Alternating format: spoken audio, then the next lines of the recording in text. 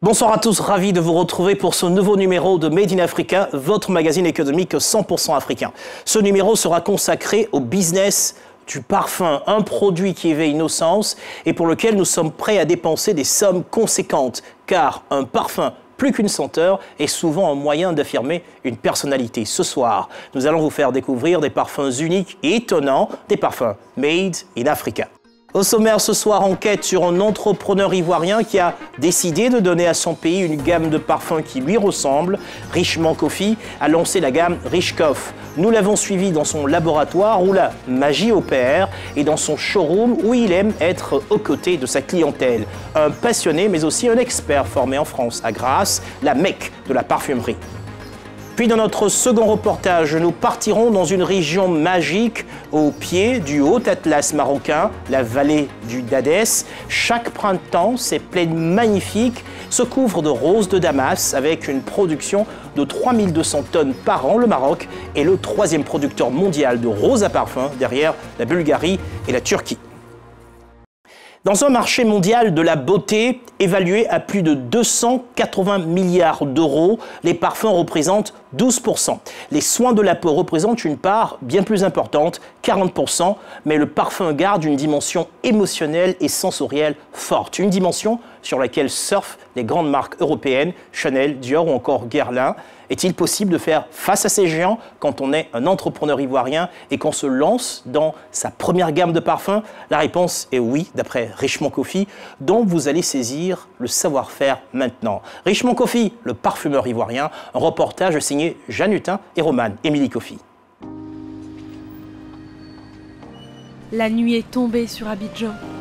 Des invités de marque sont réunis autour d'un créateur, Richemont Coffee. Il n'est pas peintre, ni designer, mais parfumeur. Ce soir, il présente sa première gamme de parfums. Adepte de belles fragrances et de bonnes senteurs, je vous présente le voyage, l'exode.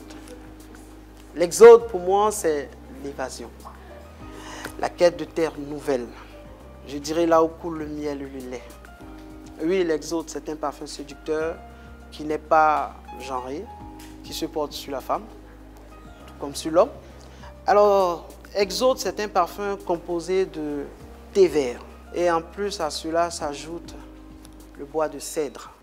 Six parfums différents, au nom parfois très abstrait, s'offrent aux invités. Il est magnifique.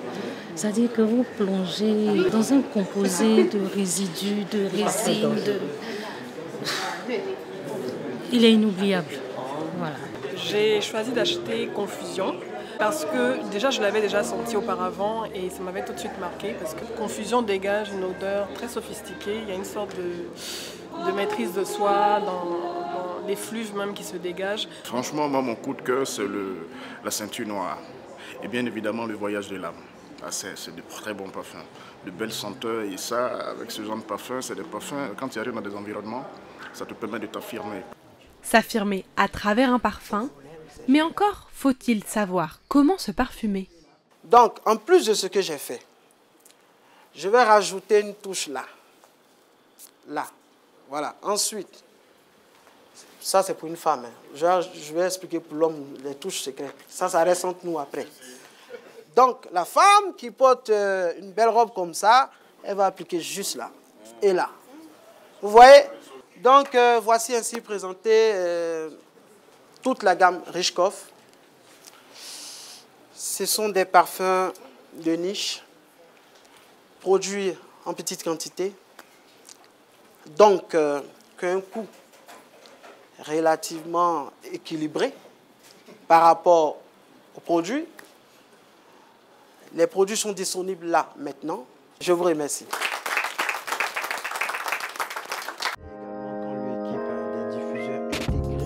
Richemont Coffee, c'est le parcours d'un entrepreneur ivoirien qui a décidé de donner à son pays une gamme de parfums qui lui ressemble. Un parfum plus adapté au climat tropical de la Côte d'Ivoire que ceux des grandes marques européennes, mais surtout des compositions avec des senteurs issues du continent africain. Parti du nettoyage de maisons et de la création de parfums d'ambiance, il s'est spécialisé dans le marketing olfactif pour aboutir à la création de sa première gamme de parfums, Richkoff. Partons à la découverte du premier parfumeur made in Côte d'Ivoire. Pour créer ces parfums, tout commence dans le laboratoire situé à Abidjan. C'est l'endroit où la chimie se met au service du parfum pour créer les senteurs imaginées par le créateur. J'essayais de composer un parfum boisé, oriental, avec euh, une légère couche euh, d'arômes euh, et de fruits.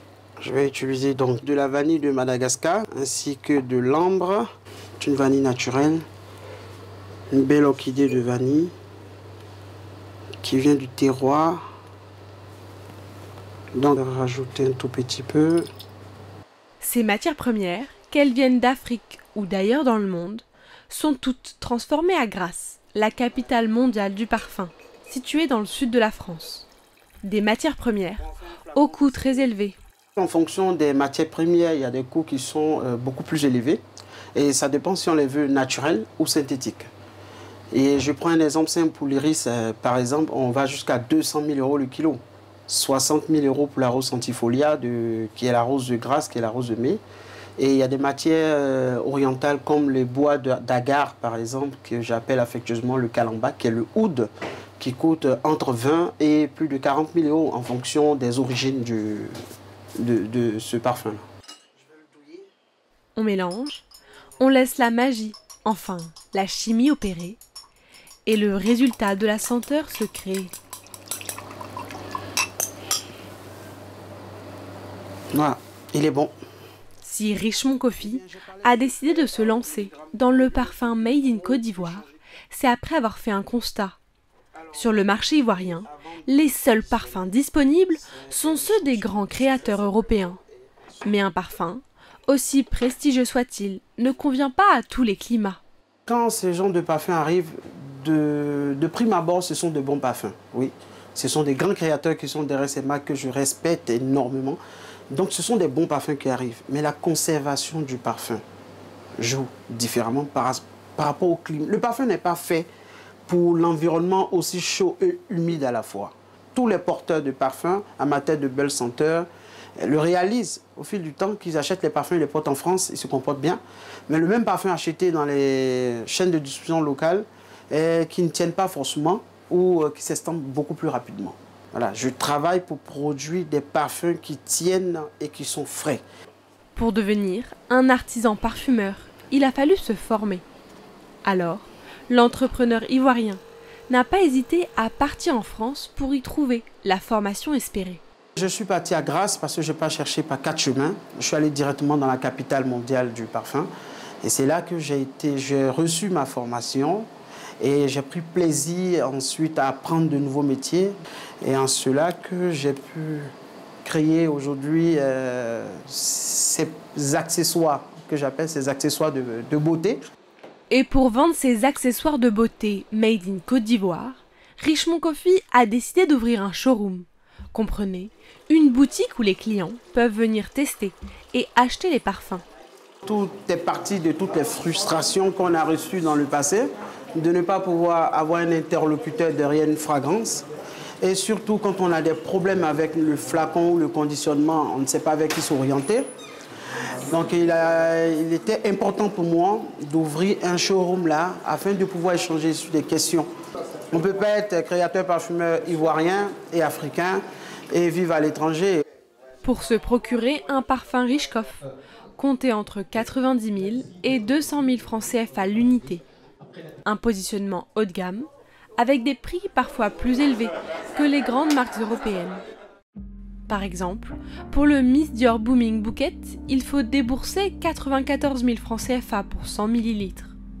Pour Ceinture Noire by Richkoff, il faut compter 150 000 francs CFA. Pour vendre, le parfumeur n'hésite pas à faire essayer les différentes fragrances de sa marque. Tu as la rose en qui dégage la centifolia bien sûr. Et après, tu as les épices chaudes qui arrivent. Safran, poivre, noir. Et après, tu as le patchouli, la myrrhe de Somalie maintenant. C'est une odeur qui est différente de ce qu'on a l'habitude de trouver sur le marché. Et euh, je ne pouvais pas m'attendre en fait à retrouver ce type de senteur-là fait par un Ivoirien. En fait, on sent qu'il y a de la recherche derrière. On a les champions d'Afrique du football. Et je pense que là, on a notre champion d'Afrique de la parfumerie. Bientôt, il sera champion mondial parce que là, là euh, les senteurs qu'il nous a sortis, c'est une masterclass en fait. Richemont Coffee, ce futur champion d'Afrique du parfum, n'est pas tombé dans ce domaine par hasard. Nous le retrouvons avec sa mère, qui est elle-même une parfumeuse traditionnelle africaine. Elle confectionne des colliers à partir de clous de girofle parfumés pour les femmes qui viennent d'accoucher. Parce qu'une femme, quand elle prend grossesse, jusqu'à quand elle va accoucher là, c'est comme on, doit. Elle doit être au niveau. Mhm. Elle doit mettre ça là pour qu'elle elle sent bon. Ça là, j'ai pris chez ma maman. Quand était jeune, ma maman faisait ça.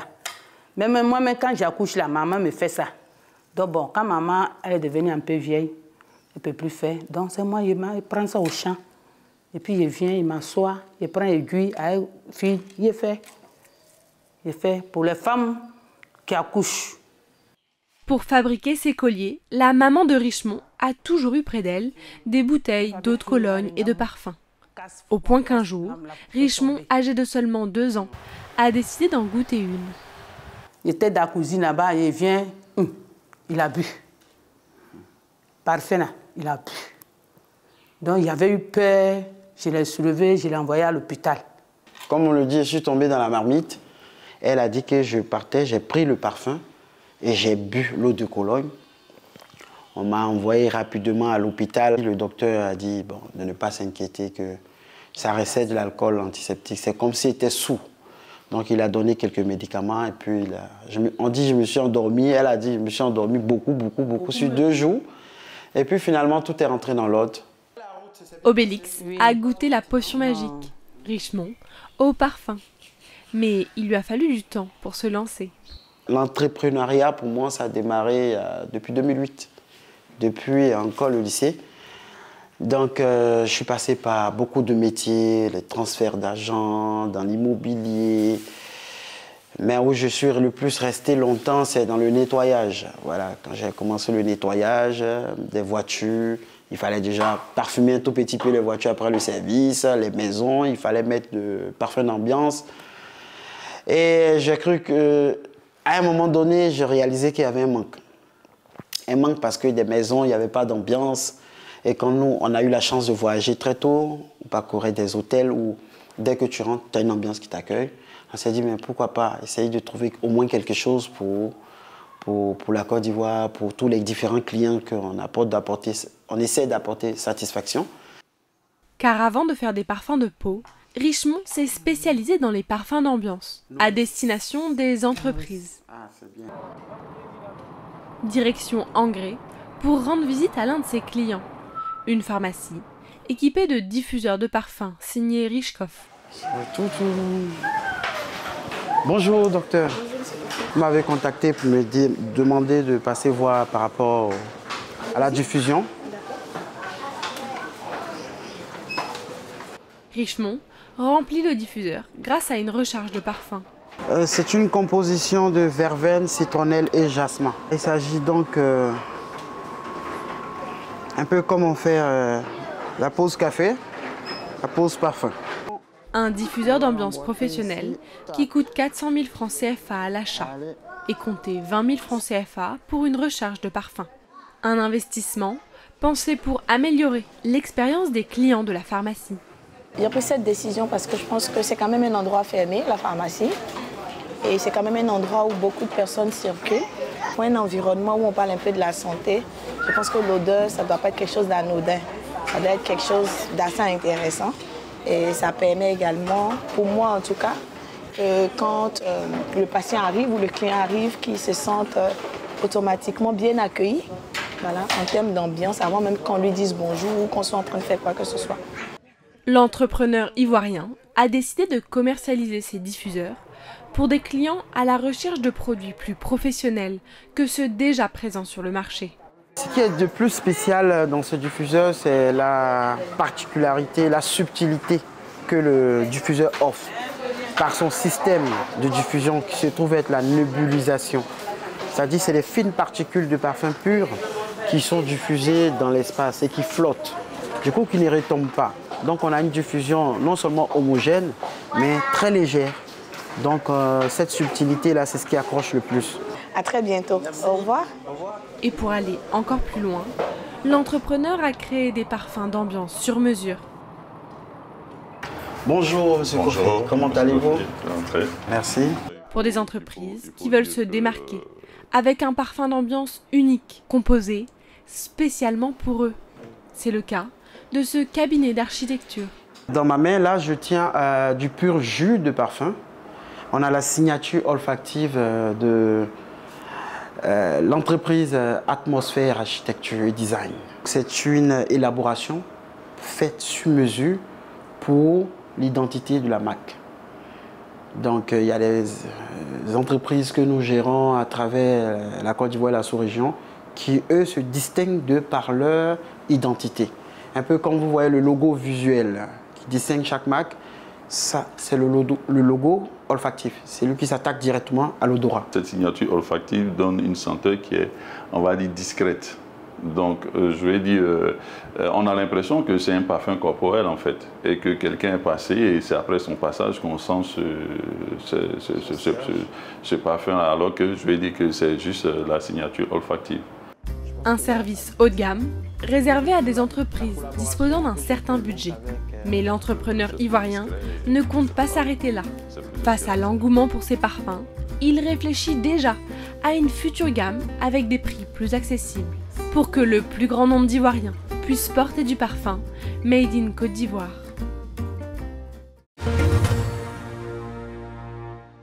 Retour en plateau et pour échanger, j'accueille Léna Genevi, directrice marketing euh, dans la parfumerie de luxe. Avec elle, Alexandra Djoman, PDG de Balacan, les créatrices euh, dans la parfumerie de niche et Richemont Coffee, créateur parfumeur. Mesdames, messieurs, bonsoir. Bonsoir Stéphane. Alors, première question pour vous, Alexandra. Vous aussi, vous êtes euh, créatrice euh, de, senteurs, de parfums. Comment est-ce que vous avez commencé, euh, Alexandra? Alors, euh, moi aussi, j'ai baigné dans la parfumerie depuis que je suis petite. En réalité, la sœur de mon père est sénégalaise. Donc, à, chaque, à chacun de ses passages, elle emmenait de l'encens, des pots, mais vraiment très particuliers. Et j'avais toujours l'habitude de mettre quelques gouttes de ces encens-là dans mes parfums. Donc dans l'autre colonne d'abord, ensuite dans les parfums, dans les diffuseurs de la maison. Mais c'était quelque chose euh, à ma dimension euh, personnelle. Je me suis rendu compte au fur et à mesure, comme euh, M. Richemont l'a dit, que tous les parfums qui étaient proposés en Afrique, c'était des parfums occidentaux. Donc moi, j'ai vraiment une obsession, c'est de pouvoir mettre notre identité olfactive dans le parfum, quelque chose qui nous ressemble mais euh, je ne voudrais pas non plus euh, complètement perdre le public en faisant quelque chose de trop singulier. Donc on a toujours la ligne directive et habillé autrement. On aura l'occasion d'en reparler. Léna, vous êtes avec nous, on est heureux de vous retrouver ah euh, dans, Made in Africa. Alors concrètement, votre rôle, c'est de, de, conseiller euh, différentes marques sur leur stratégie euh, marketing. Est-ce qu'on peut déjà voir le poids que pèse le marché de la parfumerie sur le continent africain? Sur le continent africain. J'y réfléchissais déjà avant d'arriver sur ce plateau. Et euh, le secteur de la parfumerie, comme tous les autres sous-secteurs de la beauté, souffre de la même omerta. Aucun acteur ne souhaite communiquer sur ces chiffres. Ce qui fait qu'aujourd'hui, il y a un flou absolu, mais les ratios sont les mêmes qu'au niveau mondial. Le parfum va représenter entre 10 et 12 des consommations globales et le soin du corps au quotidien reste le, le, le segment le plus important. Alors, ils sont en train de consacrer leur vie à, ce secteur. Est-ce que vous trouvez que c'est prometteur? C'est fondamentalement prometteur, mais j'ai envie de rappeler que les marques leaders sur le marché existent depuis pratiquement un siècle.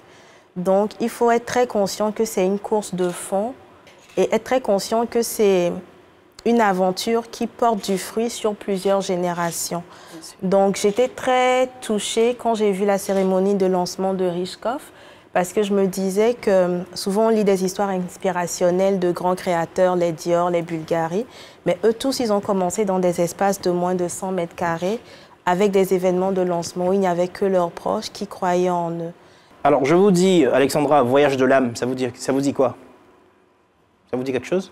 Vous réfléchissez, vous cherchez. Eh bien, c'est un des noms des parfums de, de, de Richkoff. Alors, vous avez plusieurs noms. Voyage de l'âme, euh, je pense qu'il y a Exode. Exode. Il y a Confusion, il y a Ceinture Noire. euh, il y a, il y a- voilà. Concrètement, euh, comment vous trouvez ces noms-là? Pre- Première question. Bien, déjà, il faut, faut citer que ces noms-là, la saga démarre avec Makeda. On a six références, donc euh, quatre eaux de parfum et deux parfums. Déjà pour nos téléspectateurs, euh, la différence entre l'eau de parfum et le parfum réside donc dans la concentration. Voilà.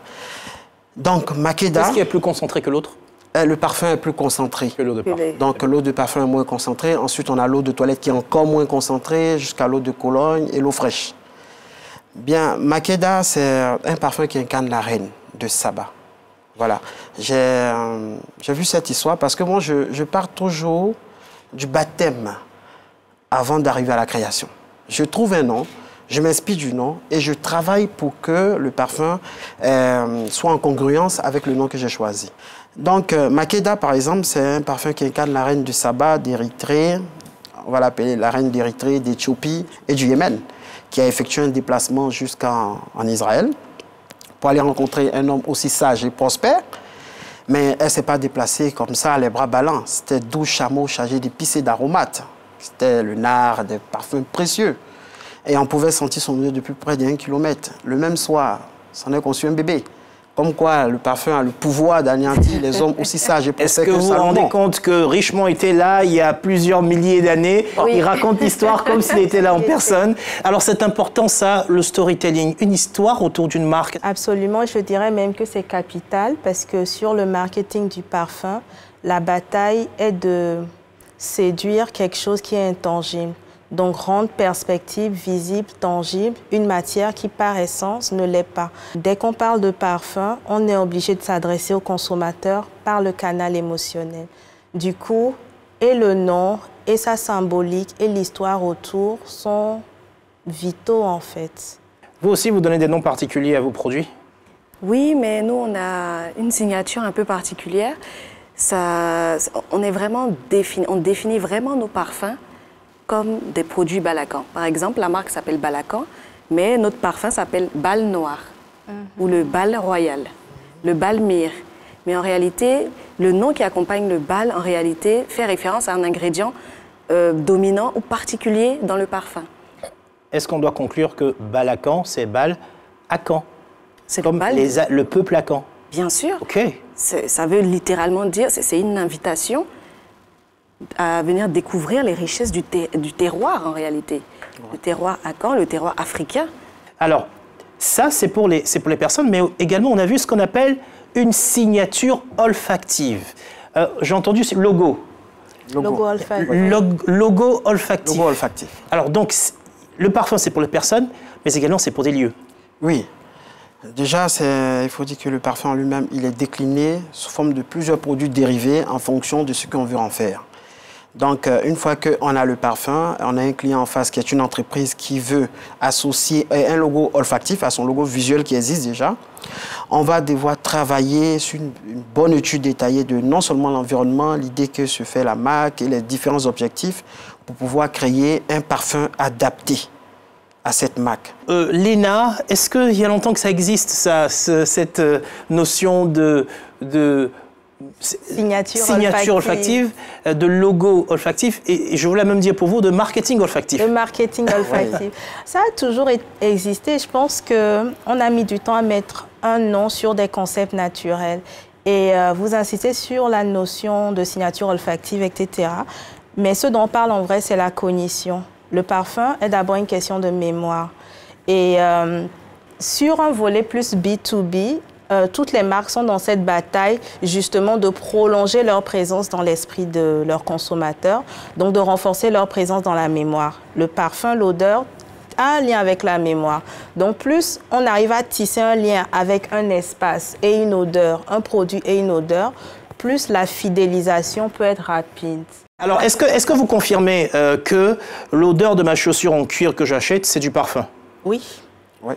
C'est un parfum de, odeur cuir Oui. L'odeur du neuf de la voiture. Du neuf. Oui, c'est un nous parfum, parfum. racheter du neuf à chaque Alors, pour ajouter quelque chose, chaque voiture a une signature. Exactement. Moi, j'ai eu Olfactive. Olfactive, bien sûr. Moi, j'ai eu l'occasion de travailler sur des projets, par exemple, euh, en Europe, dans le Sud. On a travaillé sur la marque, euh, je ne vais pas dire des marques, une marque de véhicules qui fait vraiment des 4x4, vraiment de gros bolides. Ils ont une signature. Et vu que j'ai une voiture différente comme ça de mon pays en Côte d'Ivoire, quand je rentre, je commence à faire beaucoup plus attention. Parce que d'une Mercedes, une BMW ou du RS, c'est tout différent. L'odeur et tout. Et puis, en plus, euh, la céleri, quand on fait le- la céleri est trempée dans du parfum pendant un bon bout de temps. Oui, mais c'est c'est ce qu'on comprend. Ça Voilà. veut dire que même les pneus J'ai sont bien sûr parfumés. l'odeur du plastique. Alors, on ne pourra pas épuiser le sujet. Patientez, on va dans un autre pays. Le pays où nous vous emmenons maintenant détient un trésor que recherchent tous les parfumeurs de la planète, la rose d'Amasena ou encore la rose de Damas. Nous nous sommes rendus au pied du haut Atlas marocain, dans la vallée du Dadès, où cette variété de rose très recherchée est transformée sur place pour en extraire un élixir qui vaut de l'or. Maroc, au pays de la rose à parfum, un de Sarah Sisman, et Niki Kwame. Au pied du haut Atlas marocain, dans la vallée du Dadès, chaque printemps, ces plaines ocre et verdoyantes se couvrent de roses. Une rose au parfum entêtant, la rose de Damas.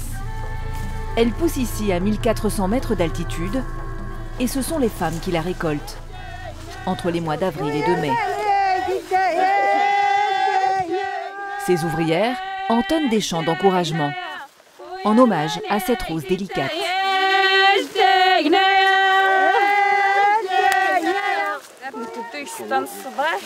Nous venons pour travailler à 6 heures du matin jusqu'à 13 heures. Les roses, nous les récoltons comme ça. Cette année, la récolte est faible, mais nous remercions Dieu. Nous travaillons quand même, tant bien que mal. Cela fait cinq ans que Vardia réalise ce travail saisonnier. Comme les cueilleuses de son équipe, elle est payée au kilo, en fonction de ce qu'elle ramasse.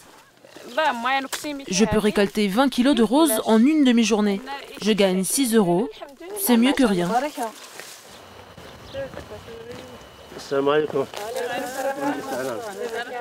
Tijani Sophie dirige cette coopérative, l'une des plus importantes de la région. Sa famille exploite la rose depuis plusieurs générations. Elle possède 20 hectares de rosiers dans la vallée. L'histoire de la rose de Damas euh, dans cette région, ça monte très, très longtemps dans le passé. Apparemment, c'est les, pèlerins qui l'ont ramené au hauteur de la Mique. Elle a trouvé le climat idéal ici pour pousser. Ça s'appelle ça la reine des roses. euh, et c'est très utilisé dans, dans le cosmétique, dans les huiles essentielles aussi, dans les parfums. Cette rose au parfum puissant est à la source d'une économie florissante. Chaque année, le Maroc en produit près de 3000 tonnes, faisant du royaume le troisième producteur mondial derrière la Bulgarie et la Turquie. Le secteur emploie près de 11 000 personnes. Un trésor naturel, transformé sur place, pour en extraire un élixir qui vaut de l'or. Une huile essentielle très recherchée par la parfumerie de luxe. Made in Africa vous emmène pour un voyage olfactif dans la vallée des roses au Maroc.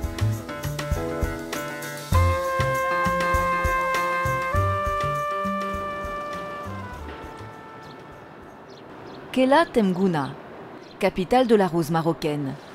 La ville compte plus de 100 coopératives qui travaillent dans le secteur. Il y a six ans, Afsa Chakibi, franco-marocaine, quitte un poste confortable dans le secteur du pétrole à Paris pour se lancer dans la rose. Et c'est tout naturellement qu'elle choisit de s'installer dans cette vallée. La rose, c'est l'une des, fleurs les plus précieuses, les plus rares euh, dans le monde. Et il y a tout un imaginaire autour de la rose. Et le Maroc est un des principaux producteurs euh, de, euh, de la rose d'Amasena, de cette rose très recherchée. Dans sa coopérative créée en 2018, la jeune entrepreneur décide de miser sur le bio, les petits volumes, et de produire une eau de rose traditionnelle en faisant travailler les femmes de la région. Euh, pour commencer, elles sont en train de trier les roses pour la distillation. Donc la toute première étape, c'est vraiment de séparer les fleurs ouvertes qui vont être distillées des boutons fermés qu'on va utiliser plutôt pour le séchage, pour ensuite la préparation des, thés. Les roses sont ensuite plongées dans ces alambics de cuivre pour être distillées à la manière traditionnelle, comme il y a plusieurs siècles. La fleur est plongée dans l'eau, donc on parle d'une hydrodistillation. Le principe de l'hydrodistillation, c'est de chauffer le mélange euh, aux fleurs, aux roses. Et donc quand ça va chauffer, ça va générer de la vapeur. Et cette vapeur-là, elle va arriver euh, ensuite dans cette partie-là qu'on appelle le système de refroidissement, où on va la condenser, donc euh, transformer la vapeur en eau, et on récupère à la sortie l'eau de rose. Notre méthode nous permet de récupérer une eau florale qui va être plus euh, concentré en huile essentielle, donc il aura un parfum plus proche de la fleur. Son eau de rose traditionnelle a vite trouvé des clients au Canada, en Chine, au Royaume-Uni et en France où elle est exportée. La rose permet aujourd'hui de faire vivre la petite entreprise plusieurs mois dans l'année. Après six ans, je peux dire que c'est un pari réussi et je ne regrette pas du tout d'avoir fait ce choix. Et maintenant, c'est à nous de pouvoir euh, trouver de nouvelles débouchés pour nos produits. Et les débouchés sont nombreux. La rose de Damas fait les beaux jours de l'industrie cosmétique mondiale, prisée pour ses vertus hydratantes et anti-âge. Elle se décline en de nombreux produits. Cette Française, installée à Kelatem ne peut plus s'en passer. Oui, alors pas que. Hein. Donc le savon que j'utilise régulièrement, l'eau de rose, l'huile de barbarie, l'huile d'argan avec de l'huile essentielle de rose. Voilà, ça c'est mes produits phares. Mais l'huile essentielle de rose a des vertus euh, exceptionnelles. C'est très très cher, on en met très peu. L'huile essentielle de rose, un trésor, vendu 17 à 20 000 euros le litre. Tijani Sophie en produit une petite quantité dans son usine de Kelatemguna. Pour cela, les fleurs récoltées le matin au champ, encore fraîches, sont aussitôt traitées. Il faut la distiller le plus rapidement possible. Parce qu'en fait, plus que ça chauffe, euh, ça, perd euh, l'arôme et, ça, s'abîme rapidement. Il faut pas moins de 5 tonnes de roses fraîches pour produire un litre seulement d'huile essentielle. 250 kg de roses sont placés dans ces alambics en inox chauffés à haute température pour être distillés par la vapeur cette fois. Et au bout de quelques heures... Oui, ce que vous voyez ici, la petite couche d'huile essentielle de la rose, c'est ça le trésor. Et ça coûte entre 17 et 20 000 euros le, litre. Dans les parfumeurs, c'est la petite couche d'huile qui les intéresse pour faire les, parfums de marque. Parce que c'est très cher et c'est très, euh, très puissant. L'huile essentielle et l'eau de rose produite ici partiront en grande partie vers l'Europe pour l'industrie cosmétique et la parfumerie. Grâce à la Rose de Damas, cette coopérative réalise un chiffre d'affaires de 200 millions de francs CFA par an. À 300 km de la vallée des Roses, à Marrakech, sa fragrance n'a pas échappé à Abderrazak Ben Chaban. Passionné de fleurs, ancien paysagiste du célèbre jardin Majorel, la rose est pour lui une source d'inspiration. Quand, vous voyez la, première rose qui apparaît dans votre jardin, c'est la promesse du printemps et pour le parfumeur, c'est la promesse d'une matière première qu'il va pouvoir utiliser euh, dans la création des parfums. Évidemment, ce n'est qu'une note parmi des, milliers de notes euh, qu'on utilise dans le parfum. Mais celle-là, je la connais puisque je la, je la cultive moi-même. Une rose au cœur des parfums de luxe qu'il compose depuis 25 ans dans son atelier. Comme cette matière première est précieuse, on va utiliser quelques gouttes pour faire un, petit flacon d'eau de, parfum de rose. Quelques gouttes d'huile essentielle de rose de Damas, mélangées à l'huile de rose centifolia et un soupçon d'huile de safran suffisent pour créer un parfum envoûtant. C'est une fleur qui a marqué l'esprit de l'humanité par euh, sa particularité, puis par aussi cette possibilité de créer des variations. Voilà. C'est une note qui est unique, mais qui a des, plusieurs facettes. C'est un peu comme un diamant avec plusieurs facettes. Et, Et moi, je vois là, je sens une facette un petit peu épicée. C'est un patrimoine olfactif euh, qui est unique au Maroc et qui mérite d'être euh, d'être euh, valorisé davantage et d'être davantage connu et à sa juste valeur. Pour valoriser cette rose, le parfumeur Ben Chaban a même osé des créations originales, comme ce parfum à base de tabac et de rose. Quand vous entrez dans un bar à tabac, il y a, cette odeur de tabac qui est très forte.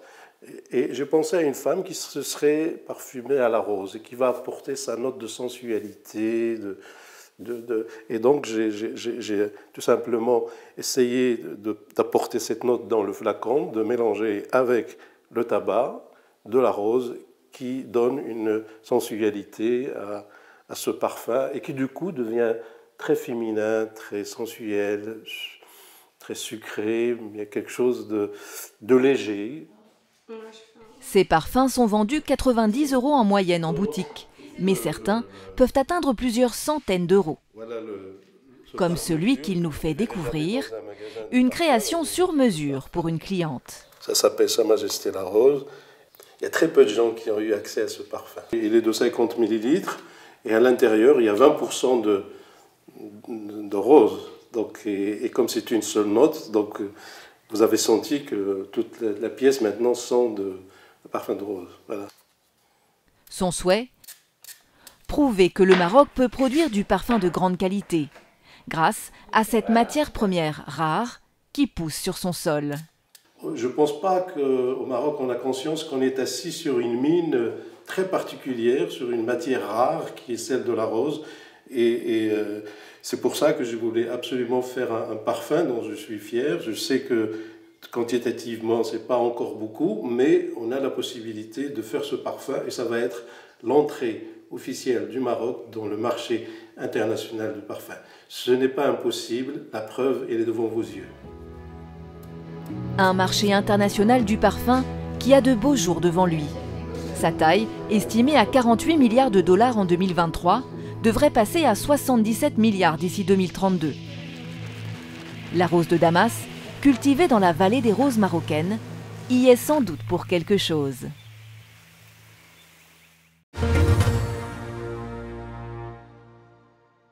Allez, on revient en Côte d'Ivoire, à Abidjan, après un détour au Maroc. Question pour vous, Alexandra. Vous connaissiez la rose de Damas? Oui, bien sûr. C'est un, ingrédient, euh, je veux dire, phare dans un parfum euh, aux notes douces et florales. Et euh, pour le coup, vraiment, cette huile essentielle à base de rose du Damas est vraiment très chère. Donc forcément, quand on est dans la parfumerie de niche comme ça, les gens ont tendance à être étonnés par rapport au coût final du parfum. Mais il faut prendre en compte en fait le coût de toutes ces matières premières, le coût de l'acheminement et le coût même du packaging. Alors, la dimension quand même économique, vous avez dit que c'est très cher, on le voit bien. Euh, un litre euh, qui coûte... 20 euh, 000 euros. 20 000 euros, on, on, est à peu près à 12 millions à peu près de 13 millions, de 13 millions de francs de francs CFA. Concrètement, est-ce que nous, puisqu'on voit que c'est un business qui marche, est-ce qu'on ne pourrait pas développer d'autres produits locaux ici à, distiller? Vous avez parlé de, de vétiver. Est-ce qu'il y en a d'autres euh, sur le plan local euh, sur lesquels on pourrait également euh, se, pencher? Je pense que clairement, dès qu'on a la curiosité, le savoir-faire, tous les éléments qui poussent dans notre nature devraient devenir un ingrédient de base pour la parfumerie. Un parfum ivoirien devrait commencer par nous montrer que le chocolat se porte en parfumerie. Donc, dès qu'on ouvre le champ du possible et qu'on l'ajoute à la science, tout peut être transformé. Richement. On a les fèves de cacao, mais on s'imagine. Moi, j'ai eu l'occasion, par exemple, de travailler euh, dans des champs de cacao l'odeur qu'on sent du cacao n'est pas forcément ce qu'on a dans le chocolat. d'accord. Donc, euh, il y a des arômes synthétiques qui sont produits pour nous donner l'allure, par exemple, de chocolat, qu'on aime bien. Mhm. Donc, il y a ces parfums synthétiques-là qui sont produits dans d'autres industries qui produisent des produits chimiques. Mhm. Euh, bien sûr, c'est pas mauvais dans le parfum parce que sans chimie, il n'y a pas de parfum. Mm. Mais est-ce que c'est ce qu'on recherche vraiment? On a déjà fait énormément le cacao. Nous occupons la première place. Faisons donc la promotion des matières premières qui sont prisées et selon les tendances actuelles. Oui, alors guidez-nous. La vanille? La vanille. Les tendances euh, actuelles? Oui, les on, on a, on a des agriculteurs qui nous suivent. hein, on y va? Oui, la vanille L'orange, le citron, Le citron. euh, le gingembre, le vétiver, la citronnelle qui pousse en zone très humide déjà. La verveine. La verveine. Le poivre. Le poivre et les différentes qualités de poivre. Même le poivre de Penja qui est plus de 13-14 000 euros le kilo. Que ce soit en, en parfumerie ou encore dans le culinaire, c'est quelque chose qui, sens- qui marche très bien. On les touche. Donc, euh, l'ilang-ilang, euh, on a d'autres fleurs qu'on peut produire ici qui vont servir au métier de la parfumerie ou encore à d'autres choses, peut-être même dans l'hôtellerie, dans la cuisine. Concrètement, euh, on a vu qu'on a des choses à faire valoir. Est-ce que les produits que vous, que vous citez sont connus? Est-ce qu'à un moment donné, on n'aura pas une uniformité des odeurs? Moi, j'aimerais dire que c'est déjà peut-être en train d'arriver. On, on le remarque déjà. C'est pour ça que nous, par exemple, on, on a voulu vraiment se différencier avec l'encens, où là, c'est- c'est presque sûr que vous ne connaissez pas ce genre d'odeur. Mais comme je dis, on suit une ligne directive qu'on habille différemment. Même si on utilise les mêmes huiles essentielles, imaginons pour une parfumerie classique, on n'assemble pas les éléments de la même manière. Donc chacun a son identité. Quand on sent, euh, bon, on ne peut pas forcément dire de marque, mais quand on sent un parfum anglais, on sent tout de suite un parfum beaucoup plus léger, beaucoup plus floral, avec des notes euh, beaucoup plus fraîches. Quand on sent un parfum beaucoup plus euh, africain, comme je dirais, ou euh, des Émirats, on va avoir maintenant ce côté boisé, corsé, beaucoup plus présent. Léna Si je peux me permettre, nous sommes tous très fiers de voir émerger des marques Made in Africa, mais vous n'avez pas besoin de construire un discours qui vienne en opposition de marques venues d'ailleurs. Non, on comprend une marque Made in UK. Non, toutes les créations ne sont pas telles que vous décrivez. Je- év- évitons. Et vous voyez ce que je veux dire C'est pour ça que je dis de manière générale. Oui, mais c'est ce Parce que chaque culture a son identité olfactive. Et puis on ne critique pas, attention, on n'est pas en train de dire, ou les anciennes, on est fatigué, non. On parle vraiment du côté olfactif. Vous demandez à n'importe qui après le plateau, ah mais quelles sont les parfums, les odeurs que vous sentez le plus Ils vous diront, parce qu'ils ne connaissent pas forcément la bergamote, ils vont vous dire une odeur citronnée, ou une odeur de rose, ou une odeur de vanille. C'est ce qui ressort le plus souvent dans les parfums. On a Peu compris importe. votre échange. hein. On sait bien qu'il Voilà. y a une revendication culturelle. On a aussi des odeurs qu'on veut montrer au monde. Oui. Euh, L'Afrique veut jouer sa, sa place. On a, Voilà. on a nos, nos- nos propres parfums. Cela dit, euh, cela dit, on sait très bien que euh, les grandes marques sont d'abord une source d'inspiration. Euh, voilà pour les voilà pour, pour, pour- pour les petits. et on, on est d'accord qu'on va pas on va pas faire d'opposition. Est-ce que vous sentez vous Richkoff pendant que vous vous vous, vous, vous, vous imposez euh, vous-même Alexandra est-ce que vous sentez qu'il y a une appétence du marché? Ça aussi c'est important pour, pour notre analyse. Pour les pour les produits de parfumerie faits localement. Est-ce que vous sentez ça? Bien sûr. Il y a du potentiel, le marché il est, il est vaste. Moi, personnellement, je pars sur des créations adaptées au climat tropical, c'est-à-dire humidité et chaleur. Ouais. Des parfums qui tiennent et qui répondent aux consommateurs, aux besoins du consommateur. Il faut un parfum qui tienne toute la journée. êtes en train de me parler. Oui. Madame Léna va nous crier dessus encore. Donc, Oh, je ne- donc Parce ça, dire par exemple, c'est pas dans la culture de l'européen, c'est pas dans la culture de l'asiatique. En fait. Les produits que je propose ici, jamais je vais le proposer à un asiatique. Il pourra jamais l'acheter. Même je fais cadeau, il prend pas. Non, Parce que ça tabasse trop fort. Les gens n'aiment pas ça. Je comprends pas parce qu'on a bien l'ambition d'exporter notre marque. Bon, ce que je dis, sauf qu'il ne faut pas se presser, il ne faut pas se précipiter. simplement. Voilà, ces marques aujourd'hui qui s'exportent partout dans le monde n'ont pas 3 ans, 5 années d'existence. On parle de Bon, 1780. non, on parle, oui. Donc, euh, le marché ivoirien, déjà, Ouais. il est énorme. Il est énorme. Moi, je commence à avoir quelques clients à San Pedro. Je suis limite même Submergé. euh, submergé. Oui. Là, par exemple, moi, ça me fait déjà énormément plaisir d'avoir un client au Bénin, machin. Et il y a l'Afrique qui est là, il y a la Côte d'Ivoire, la sous-région. Alors, j'ai quand même une question sur la base de votre, euh, votre point pour l'ENA. Est-ce que dans les recherches que vous faites, vous tenez compte de tous ces points pour les, pour les marques internationales? Est-ce que vous vous dites, attention, en Afrique, il y a la température, en Afrique, il y a l'humidité, euh, ils, ils- ils aiment plutôt ceci ou cela Je pense que ça, ça part- participe aussi, cette, cette émission, de votre enquête pour améliorer vos produits. Est-ce que, est que vous tenez compte de, Oui, de ça oui, complètement, parce que ce qui fait la puissance de ces entreprises, c'est leur universalité. Le même produit va plaire en Afrique, il va plaire à Dubaï, il va plaire en Asie. Donc, et c'est aussi pour ça que je disais que ce n'est pas nécessaire de commencer à présenter vos marques en essayant d'abord de, de critiquer ou de soulever des faiblesses qui n'existent peut-être pas. Parce que vos marques en elles-mêmes sont déjà très riches. On peut juste se concentrer, de ne, se contenter de ne parler que d'elles. Vous voyez ce que je veux dire? Donc oui, des études sont faites pour s'assurer de l'adéquation entre la formule du parfum et le climat et les habitudes de consommation. Et dans chaque gamme, vous allez avoir toute une palette de choix, de l'eau de toilette au pur parfum. Alors, honnêtement, euh, quand on parle de, parfum, on n'aurait pas pensé que c'est une émission qui révélerait autant de, débats. Mais l'idée, l'idée, je pense que euh, est en train de se dire, euh, vu qu'elle a travaillé sur des marques mondiales, il faut aussi que nos marques soient mondiales. Et donc, euh, l'argument local ne peut pas se vendre dans, le monde. Donc, je pense que c'est à peu près l'axe qu'elle est en train d'adopter. J'essaie de conclure, hein, pour ne pas que... Parce que lui, il, est militant, il va reprendre la parole. non, ça va, ça va. Moi, j'aimerais juste apporter un dernier Oui, oui, vous n'avez pas parlé depuis. Vous avez la parole. Juste un dernier point.